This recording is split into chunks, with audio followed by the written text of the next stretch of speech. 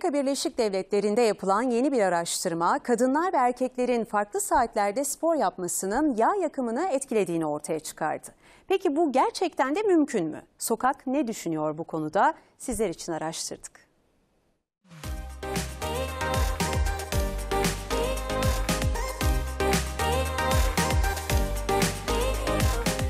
Siz yapıyor musunuz efendim yürüyüş, fitness? Yürüyüş. Saatlerde yapıyordunuz efendim? Akşam üzeri. Yürüyüş yapıyorum. Yürüyüş yapıyorum. Sabah mı akşam mı peki? Canım ne zaman isterse. Yürürüm buradan çıkıp Beşiktaş'a kadar da yürürüm. Kondisyonum tam diyor.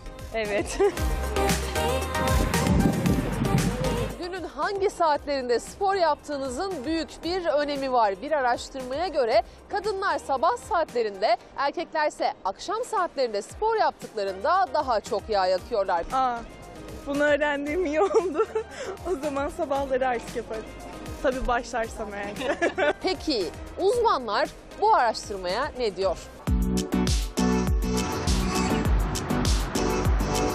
Neden sabah iyi bir şey? Çünkü senin kontrolün altında. Hani evden çıkmadan önce sen yönetebilirsin. Ama bir çıktın evden, trafikte kaldın, işte patron başka bir şey istedi, işte arkadaşın aradı.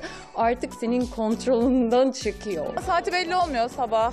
Sabah da yapabiliyorum. Genelde ama sabah yapmayı tercih ediyorum. Genelde benim akşam serinliğine kalmam gerekiyor. Basketbol maçlarımız var, voleybol maçlarımız oluyor vesaire. İnanılmaz yemek yiyorum. Onun haricinde spor yapmazsam bu şekilde kalmamın mümkünatı yok. Araştırmanın karşılığını buldum yani. Akşam yapıyor, yiyor ama yağ yakıyor. Aynen öyle. Ben çok dengesizim. Yani bir ara heves ediyorum, başlıyorum. Sonrasında aman diyorum, geçiştiriyorum.